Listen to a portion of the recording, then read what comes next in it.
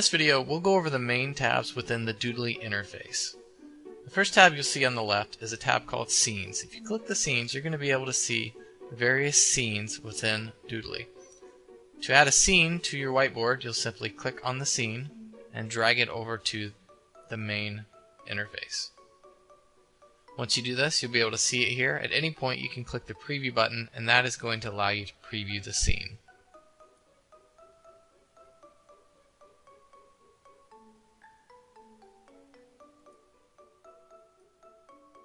The next tab is the Characters tab.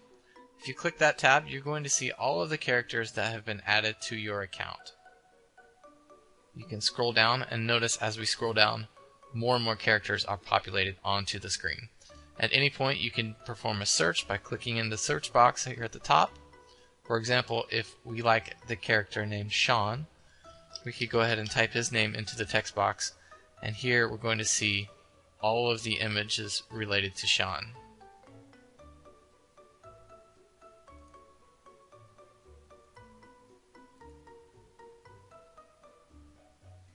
If you want to add a character to the scene, simply click on the character and drag it over to the scene. From here, you can take the character at any moment and you can drag the character around on the screen by selecting the character and then moving the character around.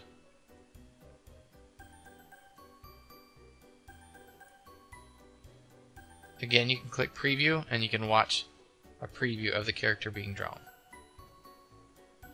Next is the props tab you can click on the props tab and from here you'll notice that Doodly contains thousands of different props. If there are certain props that you're looking for, for example, let's say we're looking for a desk, we can type in desk, and you'll notice that all of the images related to desk are populated. If you'd like to move a prop over to the scene, simply click on the prop and drag the prop over, just as you would a scene or a character. The next tab is the text tab. From here, you'll notice that we have a few default text options.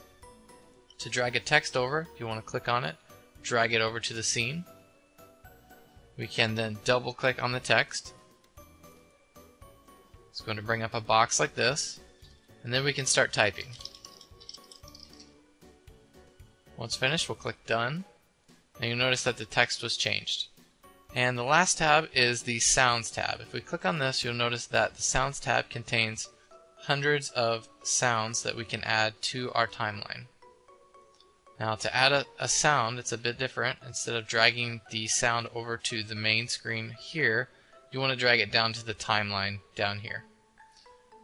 So we'll take this sound, we'll drag it down to the music timeline, which is this one right here, and you notice that it will populate.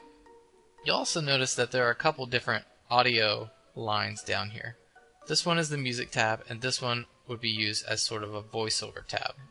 At any point you can add your own sounds to Doodly by clicking the plus icon here. It's going to bring up a screen like this where you can select the file from your computer. Once finished, click continue and it will add it to the list here. You can also add your own fonts. You can add your own props by cl clicking on the plus icon. You can add your own characters and those are the main tabs located within Doodly. Thanks for watching.